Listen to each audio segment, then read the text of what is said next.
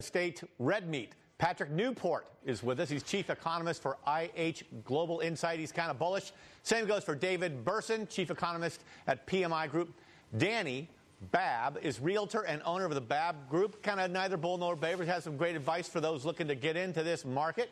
And Dan North, chief economist with Euler Hermes, is bullish. Spencer Rascoff is chief financial officer at Zillow, more bearish than bullish, and our bearish, most bearish guest of all, my pal J.T. Smith, Executive Vice President, Chief Investment Officer at Aristar.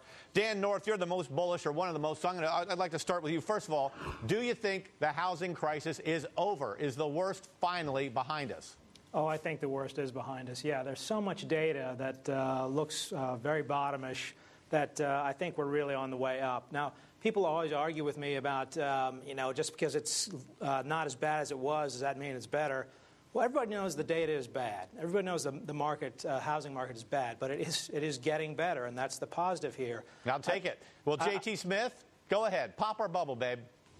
Well, I, I don't know what, what, numbers these guys are looking at, but we need to look at the methodology that some of these uh, people are using, whether it's Case-Shiller or the U.S. Census. Um, you know, the Case-Shiller that you were uh, referring to earlier in the program. Sure. Up half it, a percent from April to May. Yeah, I mean, the it, listen, um, the, the, methodology that they use is as one family only. Um, it, it Single family homes. But rather than talk about methodology, which is boring stuff, let's zoom out to the big picture here, JT, and just tell me, does it get better or worse from here and oh, why? It's, it, it's getting worse. Why? It, it's getting worse because foreclosures are now hitting the prime A borrowers. Right. Yeah, but foreclosures, one study shows the reason foreclosures are up uh, in prime A borrowers, it's not subprime stuff, but it's places where people had no money down. And once those loans that have no, no money down, those people walk away, maybe we're going to get a little better off. Uh, Mr. That's Newport, why don't you come in Dennis, for us? Dennis, you know that's incorrect. And you know it's incorrect because four months ago, I told you that the job loss and the unemployment situation, when it was below 8%, was going to cause the prime borrowers that we were already seeing anecdotal evidence that the prime borrowers are going to go bad. I can mitigate, I can modify interest rate. Right. I cannot mitigate no income. Okay, but the fact is, it, uh, overall, it's getting better. Go ahead, take it, Patrick Newport, if you would. You, you can't argue with the numbers. Sales are up, housing starts are up, and housing prices are, start, are starting to drop. Now, one thing to keep in mind is that even though the numbers are coming out very good, the housing market is two markets. It's a market for single family homes that's the market that's starting to grow. But it's also the market for, for rental units. That's about a third of the market. And that market has never been as bad as it is now. Rental vacancy rates are at right. all time highs and housing starts are all time right. Best of times and least, least worst of times. Okay, let's ask Dani Babb. What are you seeing yeah. from your eye level view?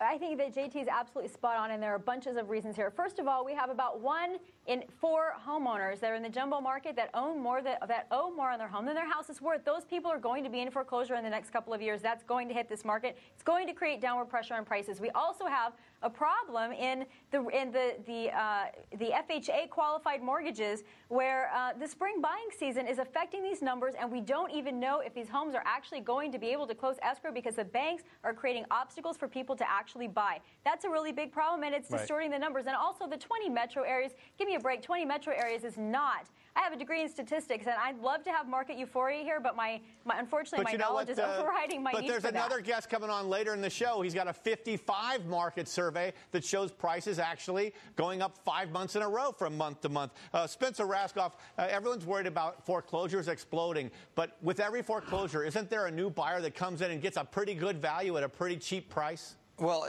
the problem here is you have to separate transaction velocity from sale prices. So velocity is up. Homes are selling, and that wasn't the case six months ago, but they're selling at very distressed prices. A quarter of all sales in May, according to Zillow's data, were sold as part of a foreclosure. 40% of the homes that sold in San Diego and LA were foreclosure sales, 60% in San Diego, 70% in Las Vegas. So it's the low end of the market and it's foreclosure and distressed sales that are happening. This is not a healthy housing market, and I definitely don't think we're at the bottom. On the other hand, inventory of unsold homes on the market down to 8.8 from 10.2 months. I think it's a positive side. I'm sorry we didn't get more of you in from each of you. There's so many of you. I'm sorry, but we got to wrap right now. And next up, thanks for being with us, guys.